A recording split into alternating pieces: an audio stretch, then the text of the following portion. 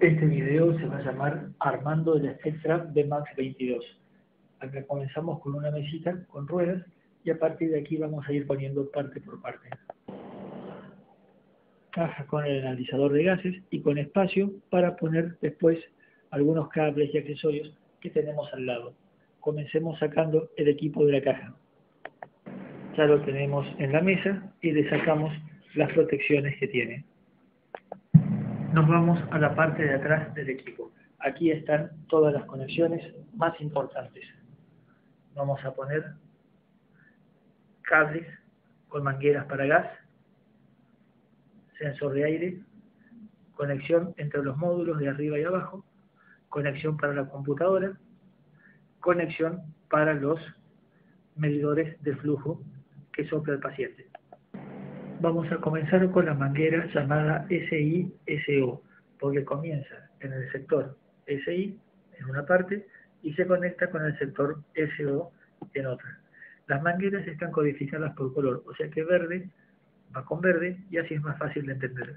Entonces, manguera SI a SO colocada.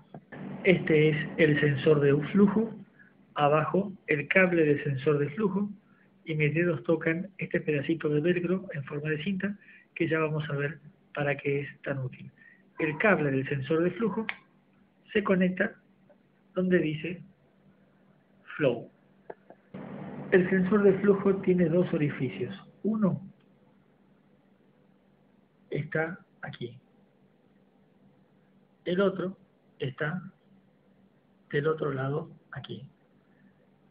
Esos esos orificios que tiene ahí van mangueras que salen, una del sector B por B y otra del sector rojo llamado dirección. Entonces, uno mide flujo de aire que sale de la boca del paciente a través del sensor de flujo y dice cuánto es el flujo, y el otro dice si la dirección de ese flujo es de entrada o de salida, o sea, inspiración, expiración. Conecto DIR, girando, codificado con color rojo con rojo. Ahora conecto B por B. Sencillamente se conecta por presión. Este es el otro extremo de la manguera B por B. Este es el otro extremo de la manguera de dirección. Cada uno de estos dos extremos van a ir a los costados del sensor de flujo. ¿En qué costado del sensor de flujo va?